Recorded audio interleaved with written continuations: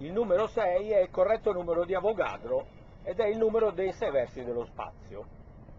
Avogadro ottenne il suo famoso numero 6,022045 dividendo la massa unitaria di 100 kg alla dimensione 10 alla meno 28 per la massa unitaria dell'atomo che a quella stessa dimensione era stimata impropriamente 16,6056 e forse 538. Infatti, a quella dimensione, dividendo 100 per 16,6056,538, ossia la massa atomica unitaria come era risaputa, determina il numero di Avogadro. Ma laddove, come io sostengo, è 16 il giusto valore da dare all'unità della massa atomica, 100 diviso 16 determina 6,25, ossia 6 più un quarto, il che dà i 6 versi dello spazio sommato all'unità del tempo un quarto, che è quello della presenza di t, il tempo, sui quattro parametri x, y, z, t dello spazio-tempo. Se sottraiamo l'unità del tempo, i 4 quarti, facciamo 100 meno 4 uguale 96, dividendo 96 per 16, giusto valore di un'unità di massa atomica, otteniamo esattamente i 6 versi. Se si pensa che il valore di ogni molecola è dato dal numero di Avogadro moltiplicato per 10 alla 23, non si capisce in alcun modo il senso di questo numero, che invece ha un significato nettissimo se rappresenta esattamente i sei versi dello spazio in cui la molecola è distribuita, sia espansa ma nello stesso tempo anche ammassata in quel valore esatto.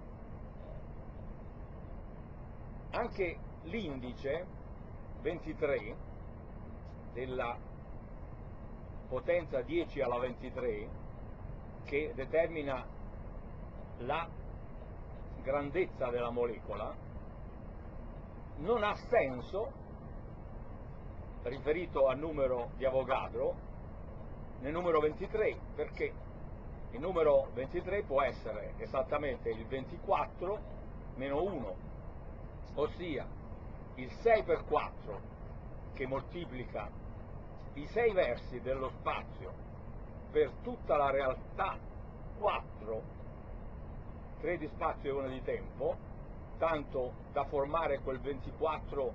che è tutto l'insieme delle ore di un giorno, o anche quel 24 che si ritrova nel valore di 10 di 2 elevato a 10 che è 1024. 24 rappresenta tutta la possibile rotazione, diciamo distribuzione nello spazio, in tutti i sei versi dello spazio, della realtà a quattro dimensioni, che essendo realtà che si ammassa poi nella molecola, si riduce a un decimo nel suo ciclo unitario. Quindi 10 elevato a 24 diviso 10 diventa 10 elevato a 23. Si capisce chiaramente il significato allora di 10 alla 23 se riferito al 6, cioè ai versi dello spazio, e non al numero di Avogadro,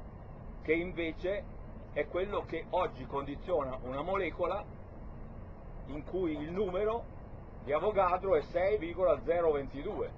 e non ha nessun significato a livello di rappresentazione dello spazio che invece dovrebbe rappresentare, ma rappresenta con un numero certamente sbagliato perché lo spazio ha 6 versi e non 6,022. Insomma, la sua derivazione poi non dal 100 che è un valore assoluto diviso per 16, ma dal valore reale, perché abbiamo visto che è lo spostamento della realtà in tutti e sei i versi dello spazio, quindi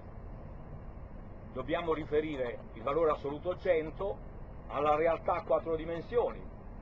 per cui 10 elevato a 100 diviso 10 elevato a 4, ossia l'unità della realtà, determina una potenza con un indice che è 96. Ecco, è 96 che deve dividersi per il valore esatto 16 dell'unità della massa atomica nel suo valore esatto per determinare esattamente i sei versi dello spazio. E questo 96 diventa il valore preciso della costante di Faraday, laddove anche la carica elettrica poi assume il valore preciso di 16. È il 16 che è l'esponente del quadrato della velocità della luce, la cui dimensione è 10 elevato a 16. Ed è un valore di carica, perché la potenza è un valore di carica posta sulla base 10.